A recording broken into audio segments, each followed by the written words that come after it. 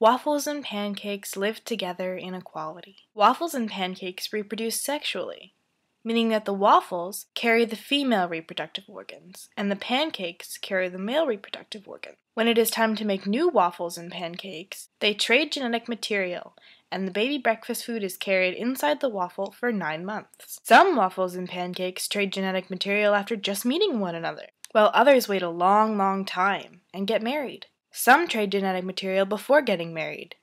Others wait until after. Some waffles and pancakes never trade genetic material and are just friends or partners. Some waffles and pancakes trade genetic material with more than one other pancake or waffle. This all seems fine to most people.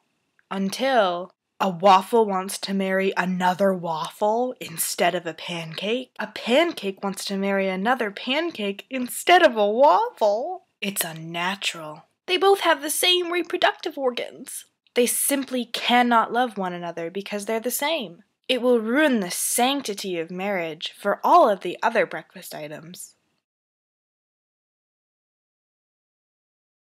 So, President Obama recently came out and supported gay marriage, which I think is awesome.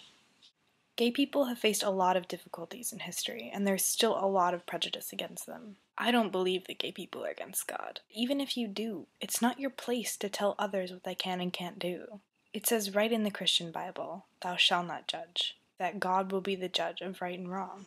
The sanctity of marriage is in no way ruined by two people who love each other marrying, regardless of their gender or their genetic material sharing habits.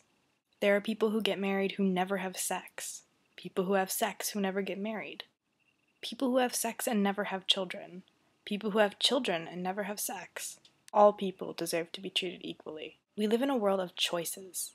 We make the choices that we believe to be right and true. The sanctity of marriage is ruined by those who aren't careful of their choices and who don't respect themselves or their partners. We cannot force others to do what we want them to do, nor can they force us to do what they want us to do. And I like it that way.